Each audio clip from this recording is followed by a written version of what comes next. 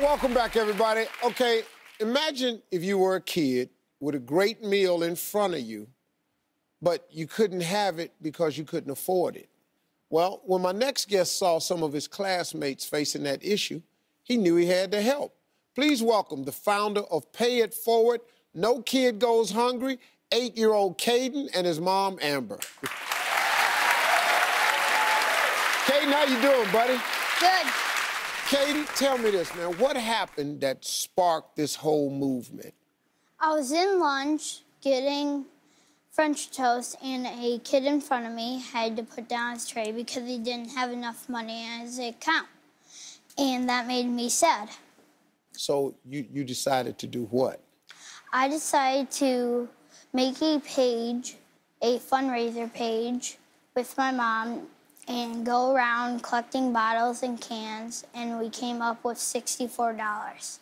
Amber, that $64, that was the beginning of. Yes, the news media and papers got a hold of the story, and we created a fundraiser page called Pay It Forward No Kid Goes Hungry. And people from all over the world wanted to help out. To date, Cayden has raised $27,000. And has paid for more than 24,000 lunches. Really? Wow. Now, let me ask you this, Amber. Were you surprised that, that Cayden wanted to do this? No, Cayden's my big hearted helper. He always enjoys playing with his brothers. He'll help out the neighbors. Even at school, he'll go and help the new kids at school, show them around the school, help them find their buses, things like that. Wow. Cayden, let me ask you something, man. When you started out, did you ever think you'd be able to raise this much money? No, when I started, I told my aunt about it, and she said that she would match anything up to a 100, and I made her pay a 100.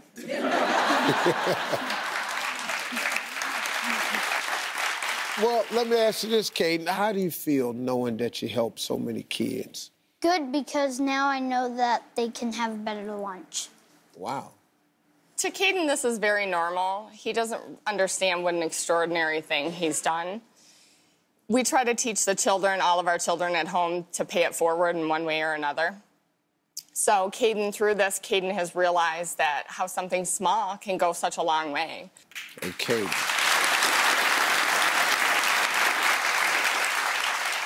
Hey, Cayden, can I tell you something? Yeah. You're pretty cool, dude. Thanks. What do you want to be when you grow up? I don't know. Ain't no problem. You think you'll make a lot of money? Yeah. Got that figured out. High five. My man. Our friends at a company called Green Dot, they heard about Cayden's work and they want you to continue to help feed as many kids as possible. So guess what, Amber? They're giving you $5,000 on a reloadable prepaid Green Dot card. All you have to do is successfully register. That's it, and it's yours. Cayden, great job, buddy. Thank Superstar you. kid. Thank you very much. Thank you very much, Amber. Keep paying it forward, buddy. Great idea, man. For more information on Green Dot, hit up SteveHarveyTV.com. We'll be right back, folks.